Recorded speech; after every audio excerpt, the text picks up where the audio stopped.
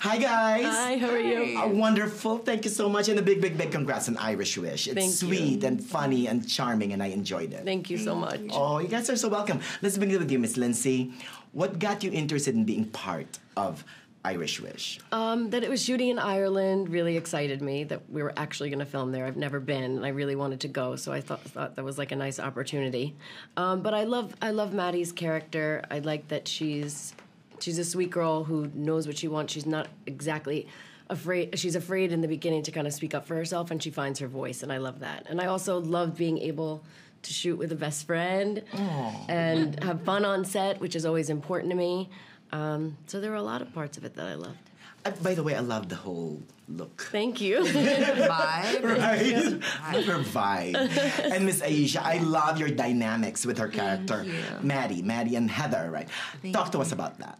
Yeah, I think you know they're that classic best friend duo um, that kind of bounce ideas off of each other. They can have fun together, but they can also like go through stuff together. Yeah. Yeah. Um, and be okay in the end, and I think that that's really cool. I kind of consider Heather like the voice of reason. Yes. Um, to Maddie, and so it's it's it's cool to see that kind of evolve throughout the film. We all need a Heather in our life, right? now, Miss Lindsay, you mentioned it. Ireland is like a big part of it. It's a character in the story itself. Yeah. Talk to us about that. How was it? How was Ireland? How was shooting in Ireland? It was magical. I mean, it was beautiful. The you do have four seasons in one day every day, Yeah. which is a fun experience.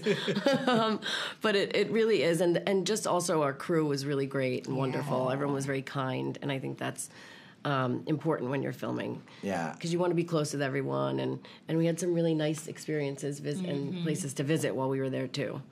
You know, Miss Ayesha, at its heart, the film is um, you really cannot out magic love, right? Love is bound to happen, Yeah, right? absolutely. Yeah, that's a good way to. I like that. Yeah. You Isn't can't out magic love. You can. I love that. Aw. Oh my god. Yeah, I think that's so true, and you'll definitely see that throughout the film with Maddie in like more ways than one. Uh, and I think that it's just it's just so special and fun. And another part, though, Miss Lindsay, another uh, at its heart, it's also about writing your own story. Exactly. Yeah. Right? Tell, tell us about that. I think it's important for for to see more movies like that where you can see you can you know there's the message is to stand true to yourself and believe in yourself and um, be open to new experiences also. So that was something that really pulled me towards the script. Oh, is that what you wanted viewers to get whenever it, uh, it shows up on Netflix on March 15th? Yeah, I want people to have fun, but I also want people to see the message of speak your truth. Um, and you know, it's important to get advice from friends too. Yeah.